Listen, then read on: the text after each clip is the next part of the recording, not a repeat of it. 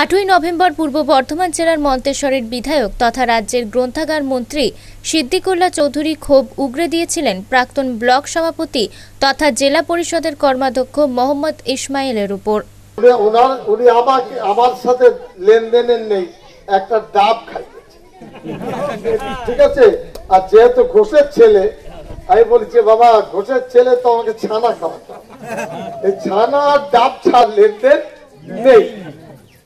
কোন কাটমানির জায়গা এখানে নেই। খুব পরিষ্কার। এবং প্রতিটি মা প্রতিটি বোন প্রতিটি ধর্ম প্রতিটি বর্ণ। নমস্কার আনন্দ বার্তায় আপনাদের স্বাগত। আপনাদের নিউজ দেখার পর একটা লাইক এবং একটা শেয়ার করুন। ভালো ভালো নিউজ দেখতে পেজটি লাইক করে দিন। আমার বাড়ির মেয়েদের যেমন সম্মান জানায় একটা হিন্দু মায়ের সম্মান আমার অন্তরে ঠিক তেমনি কালকে একটা অঞ্চলের র্যালি করব বলে ঠিক করেছিলেন। একটা ভুটভুলা গাড়িতে উনি বেরিয়েছেন। এখন আমাদের দল, চলো যাই গ্রামে কর্মসূচি দিয়েছে, সেটা নিয়ে ওনার কোনো মাথা ব্যথা নেই।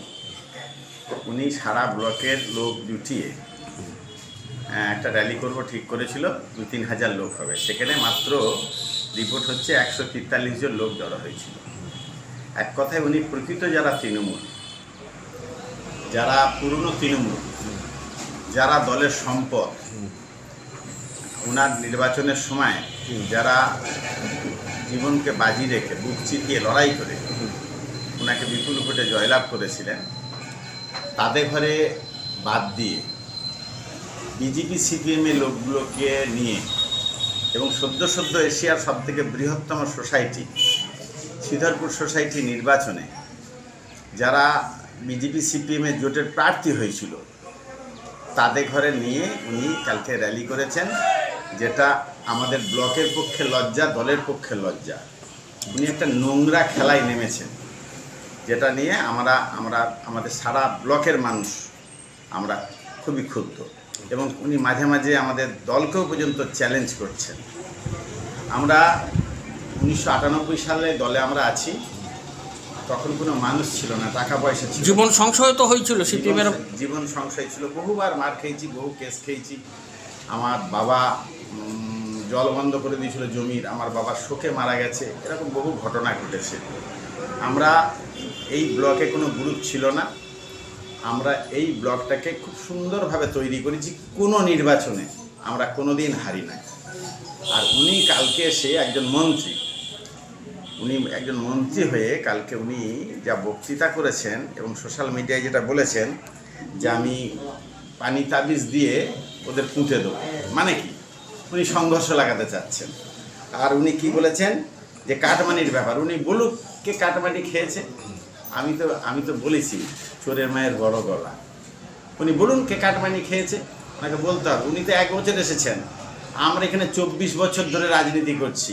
সেই পরিপ্রেক্ষিতে এদিন সাংবাদিক সম্মেলন করেন মেমারি দু নম্বর পঞ্চায়েত সমিতির সহসভাপতি অমর সাহা বলেন বিগত কয়েকদিন পূর্বে মোহাম্মদ ইসমাইলকে মেমারি দুই ব্লকের ব্লক সভাপতির পদ থেকে সরিয়ে দেওয়া হয়। তারই ক্ষোভে ও দুঃখে বিধায়ককে তিনি এইভাবে আক্রমণ করেছেন যেটা দলবিরোধী কাজ বলে আমরা মনে করছি।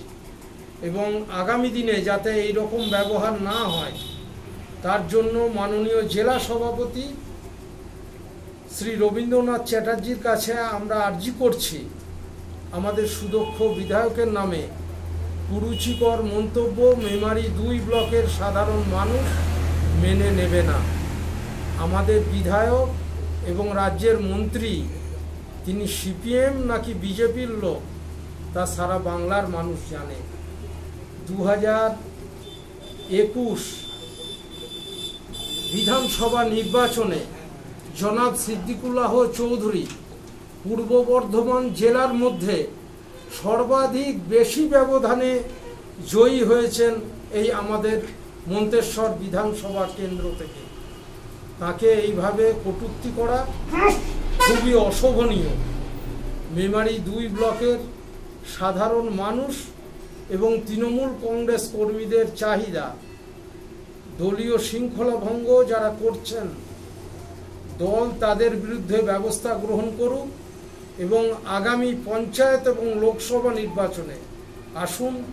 আমরা সবাই ঐক্যবদ্ধভাবে সাম্প্রদায়িক বিজেপি এবং সন্ত্রাসবাদী সিপিএমের বিরুদ্ধে লড়াই করে মমতা ব্যানার্জির হাতকে শক্ত করি। ধন্যবাদ, নমস্কার। মেমারি থেকে মৃত্যুঞ্জয় যশের রিপোর্ট আনন্দ বার্তা।